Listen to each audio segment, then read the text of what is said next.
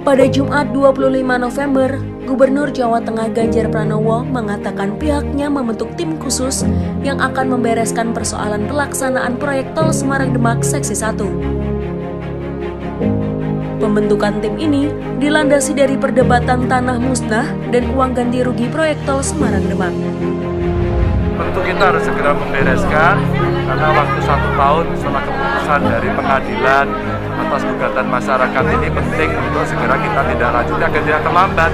Artinya kalau kemudian masyarakat ikhlas untuk membantu dan dengan tanahnya atau tanah yang ya masih berdebat ini musnah atau tidak itu diikhlaskan untuk kita bantu. Saya kontribusinya akan bisa membantu kelancaran yang ada di sana. Tapi intinya mungkin ya soal ganti rugi atau uang kerokiban. Tinggal kita bicarakan sama mereka. Dan akan melakukan pendekatan secara lah.